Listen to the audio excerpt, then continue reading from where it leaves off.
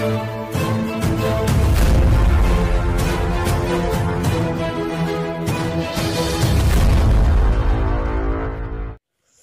अल्लाम दोस्तों, अपनी next video के साथ आपको वेलकम करता हूँ। काफ़ी दोस्तों की तरफ़ से असाइलम सेकर्स को दी जाने वाली सहूलतों के बारे में पूछा जाता है कि स्पेन में क्या सहूलतें दी जाती हैं। स्पेन असाइलम सेकर्स को सहूलतें देने के लिहाज से बहुत अच्छा मुल्क नहीं है। लेकिन डॉक्यूमेंट्स देने के लिहाज से एक अच्छा मुल्क समझा जाता है। यहाँ पे दो तीन अहम कवानीन हैं जिसकी वजह से असाइलम सेकर्स फ्यूचर में मुस्तकिल हो सकते हैं और वो अपना जो है वो रेजिडेंट कार्ड ले सकते हैं। उसके बाद आहिस्ता आहिस्ता नेशनलिटी की तरफ़ जा सकते हैं। सबसे पहले तो आपको ये बताता चलूँ कि स्पेन में जो आप असाइलम अप्लाई करते हैं, उसमें रिज़ल्ट को कम अज़ कम डेढ़ से दो साल लग जाते हैं जब तक आपका रिज़ल्ट नहीं आता। आपको एक रेड कार्ड इशू किया जाता है।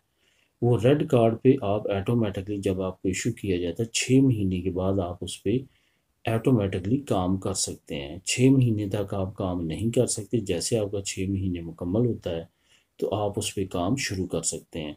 इसमें और जो बेनिफिट मिलते हैं, वो ये है कि अगर 18 साल से आपकी उम्र कम है, फिर तो एक तो आपको कैंप में रखते हैं। कैंप के तमाम अखराज जिसमें रहायश पानी खुराक, आपकी तमाम चीज़ें जो है वो हुकूमत ने पे करनी होती हैं और उसमें आपको 19 यूरो जो है हर महीने जेब खर्च की सूरत में दिए जाते हैं। उसके बाद अगर आप बड़े हैं तो फिर आपको इक्यावन यूरो साठ सेंट हर महीने जो है वो दिए जाते हैं, जो कि ना होने के बराबर हैं। यानी कि बहुत कम जो है सहूलतें, बेनिफिट्स की शक्ल में, असाइलम से कुछ स्पेन में फिनेंशली तौर पे मिलती हैं। उसके बाद आपको एक ट्रांसपोर्ट कार्ड बना के देते हैं। उस कार्ड पे आपको सरकारी फ्री ट्रांसपोर्ट मिलती है। आप जहाँ भी जाना आना चाहें, आपको कोई रुकावट प्रॉब्लम नहीं होती। उसके बाद हर साल साल के एंड पे आपको कपड़ों की शक्ल में तीन सौ तिरसठ यूरो जो है वो कपड़ों के लिए मिलते हैं। यानी कि आपको जो आपने साल बाद कपड़े ख़रीदने होते हैं, उसके लिए तीन सौ तिरसठ यूरो मिलते हैं कि आप अपने शूज़ कपड़े वगैरह ख़रीद सकें। ओवरऑल दोस्तों, ये ना होने के बराबर साइलम सीकर्स के बेनिफिट्स हैं।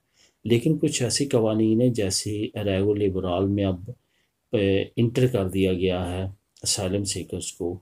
उसके साथ साथ असाइलम सीकर्स को ख़ुद रेड कार्ड पे जल्दी काम देने की जो बात है, अभी छः से चार महीने होने वाले हैं अन करीब उसके लिए भी काम हो रहा है। बाकी काफ़ी इसमें लीगल होने के चांसेस हैं। अगर आपकी खुदा न खासा स्पेन में असाइलम आपका रिजेक्ट हो जाता है तो उसके बाद आप अरेगो सोशल अप्लाई कर सकते हैं। वो एक अलहदा सी कानून है, उस पर भी इसी चैनल पे वीडियोस बनाई हुई हैं। एक पूरी प्ले लिस्ट है रायगो सोशल के नाम से, वो आप विज़िट कर सकते हैं। उसकी भी आपको समझ आ जाएगी। एक प्ले लिस्ट अरेगो लेबराल के नाम से है, वो भी आप देखेंगे तो उसकी भी आपको समझ आ जाएगी। ओवरऑल डॉक्यूमेंटेशन के लिए लीगल स्टेटस लेने के लिए स्पेन अच्छा मुल्क है।